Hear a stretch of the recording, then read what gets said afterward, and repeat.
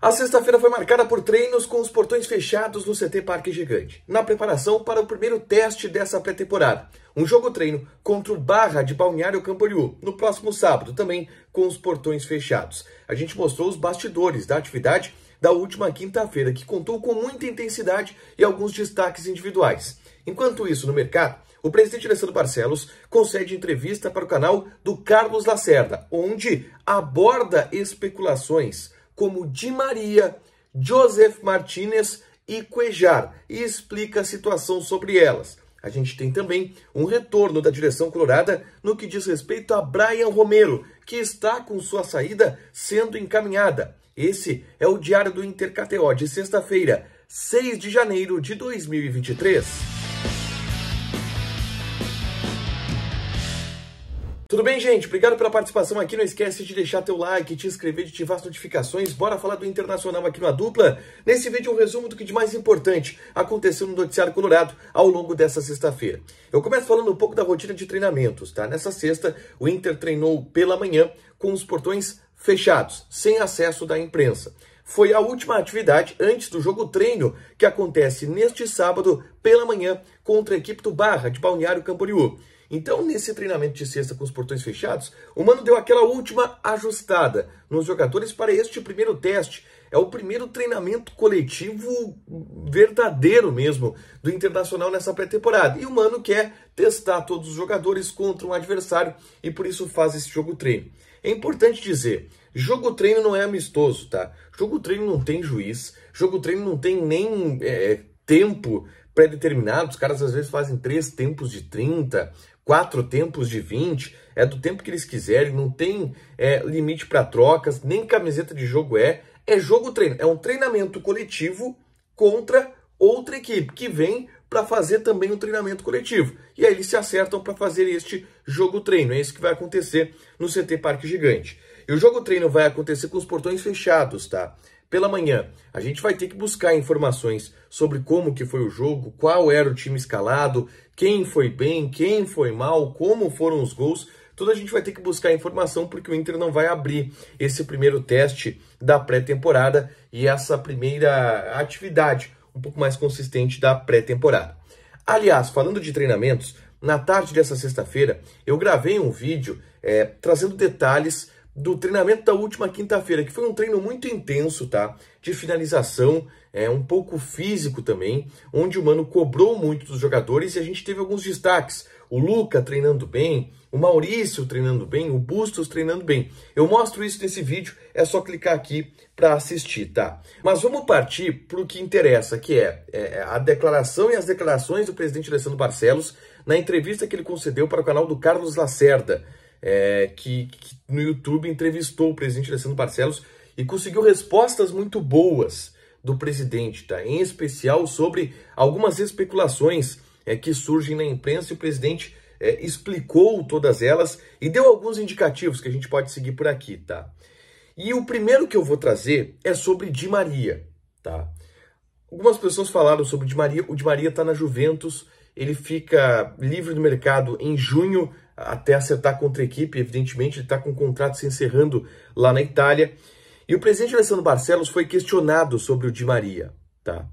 E a resposta do presidente Alessandro Barcelos ela repercutiu bastante. O presidente admitiu que o nome do Di Maria é monitorado pelo CAPA, pelo Centro de Análise e Prospecção de Atletas, e que a direção sabe quanto o Di Maria ganha, sabe como que faz para trazer o Di Maria, como que está o contrato dele o que não significa que o Inter está trazendo jogador. E aí eu já vou de imediato dizer para vocês não se iludirem, porque o Di Maria não vai jogar no Internacional, tá?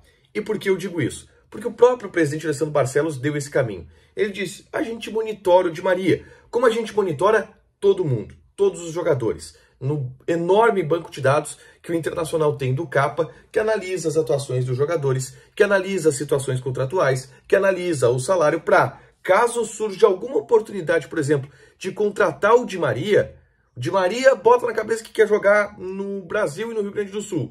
O Inter já tem um caminho, já monitora o jogador em relação a isso.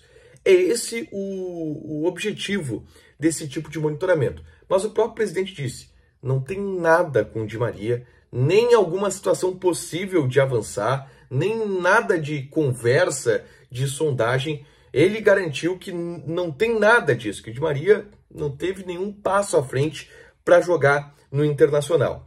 E aí ele até citou, pô, o cara ganha de 3 a 5 milhões de dólares por ano, algo completamente inviável para o Internacional trazer. Então o Inter nem cogita o Di Maria, tá?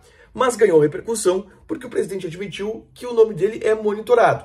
Mas o monitoramento é isso, tá? Tem muito jogador monitorado, mas milhares de jogadores monitorados. E o Di Maria também, porque é um cara é, que, que, enfim, tem um contrato que daqui a pouco pode acabar. E o Inter está observando todas as situações de todos os jogadores e o Di Maria se inclui nisso. Mas não alimentem, tá? O Di Maria não vai jogar no Internacional. É muito improvável que isso aconteça, só se uma reviravolta, a partir do que a gente tem agora, muito grande acontecer. Mas vamos para as situações mais palpáveis, tá? É, e duas delas foram abordadas pelo presidente Alessandro Barcelos.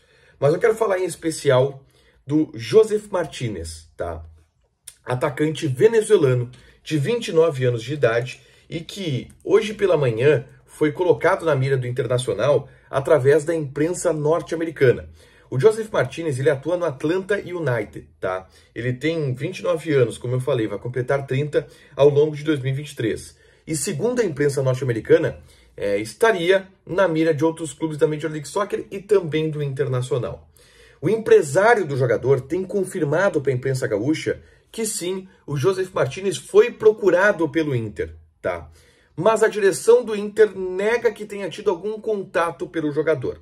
Por último, a última versão que eu vou dar aqui, do presidente Alessandro Barcelos, que disse que o Inter não fez nenhuma tentativa pelo Joseph Martinez, mas não descartou que o Inter possa tentar algo pelo Joseph Martinez.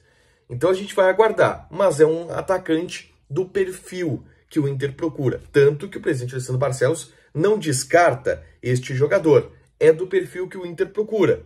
O empresário deu uma sinalização de que o Inter está tá querendo entrar na parada. Mas o Inter diz que não. A gente vai ter que ter um pouco mais de paciência sobre essa situação para ver. Mas já vamos começar a monitorar um pouco mais de perto essa situação do Joseph Martinez. Sobre Cuejar, tá? que também é um nome bem cotado, o próprio vice de futebol, Felipe Becker, disse que é um nome que está no perfil buscado pela direção colorada. É, o presidente Alessandro Barcelos também não descartou fazer algum tipo de tentativa pelo Cuejar, que está no Al-Hilal e toda aquela situação de transfer ban que a gente explicou nos últimos vídeos. O Al-Hilal precisa sair dessa punição para liberar algum jogador, entre eles o Cuejar. Mas o presidente foi claro, não descartou que o Inter possa tentar contratar o Cuejar. Isso para mim já é um indicativo de alguma coisa. Por último, tá? Eu quero falar sobre Brian Romero porque a gente conseguiu uma resposta da direção do Internacional nesta sexta-feira, tá? E o Inter garante que não existe chance do Brian Romero ter o seu negócio com o Tijuana melado. Ele foi liberado para acertar o seu empréstimo com o clube mexicano e até agora não foi anunciado, mas de acordo com o Inter, por questões de documentação, tá? Tá tudo certo, ele será anunciado nos próximos dias pelo Tijuana e não volta para o Internacional, o que é mais importante para que o Inter possa caminhar e, e, liberar mais espaço da folha e, quem sabe, buscar algum outro tipo de reposição. Para fechar, gente, vamos falar aqui de KTO, tá? Vou passar aqui algumas odds. Campeonato Espanhol. Tem Vigia Real e Real Madrid. Odd do Vigia Real, 3.4. Empate, 3.75. Odd do Real Madrid, 2.08. Vamos para Taça da Inglaterra, Copa da Inglaterra. Liverpool e Wolverhampton, odd do Liverpool 1.3, empate 5.3, odd do Wolverhampton 8.5. Joga lá na KTO, te registra, coloca o cupom A dupla que tu ganha 20% de bônus em cima do teu primeiro depósito. Deixa o teu like, te inscreve, ativa as notificações que vai ter mais conteúdo aqui no canal. Beijo!